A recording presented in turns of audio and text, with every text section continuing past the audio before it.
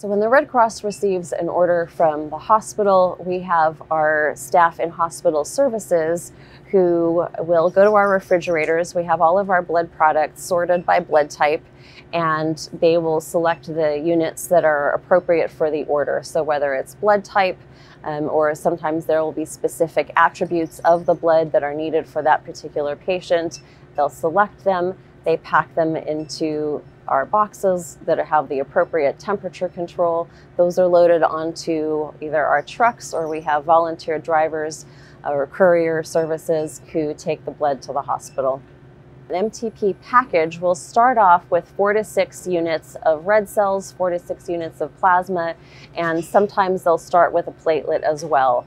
And depending on how severe the hemorrhage is, uh, some patients may need several packages. For the very severe bleeds, we could even see uh, patients using four, five, six packages. So we start to get into the range of maybe 50 and sometimes even up to 100 units of blood products.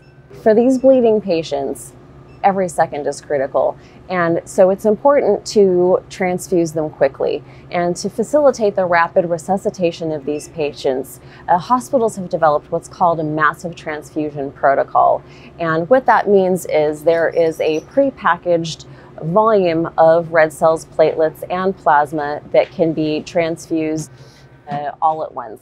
A stat order means that there is an immediate patient need so hospitals will often have different types of blood products on their shelves uh, that are transfused as patients come in. They may be a scheduled transfusion, it may be a scheduled surgery or procedure, and sometimes there's an emergency need. And when there's an emergency need, the hospital will place a stat order to the Red Cross, and we will need to deliver that blood product uh, immediately.